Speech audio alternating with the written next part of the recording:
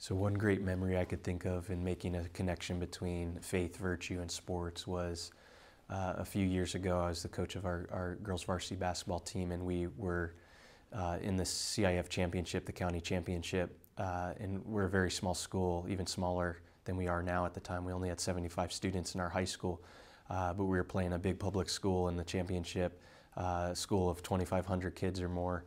And we were the two seed, they were the one seed. We had played early in the season. They already beat us by about 20 or 25 points.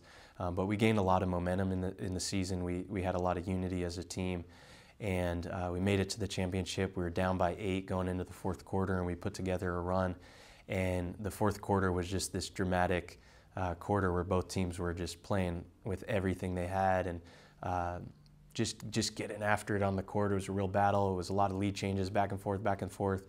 And we had a moment where we just had uh, uh, one of our players hit two big free throws to put us up by one point, and we called a timeout to uh, strategize for our defensive uh, series to try to make a stop and, and put an end to this game. And there was just a moment. There was, I think, there was yeah, 20 or 30 seconds left on the clock, and I think because as a team we had already all year been incorporating virtue into our sports team, we had been incorporating the faith, we've been praying a lot as a team, going to Mass together.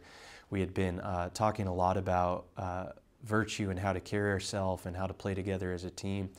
And we uh, had this moment where there was this huge crucifix at the gym we were playing at, and I just, it caught my eye, and I was trying to think of something inspiring to tell the team.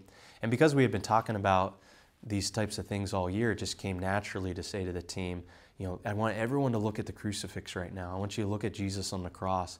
And I want you to just uh, imitate Jesus in this moment. We have 30 seconds to go. I want you to just pour yourself out for Him, for your team, for your school, for your family, um, and leave nothing on this court. Like you just need to pour yourself out completely in love, just like Jesus did on the cross.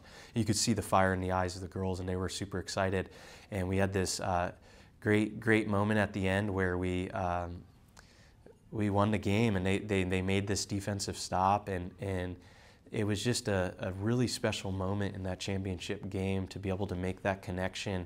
And, and the students talked about that moment together. It was just a special moment we had that bound us together in our faith.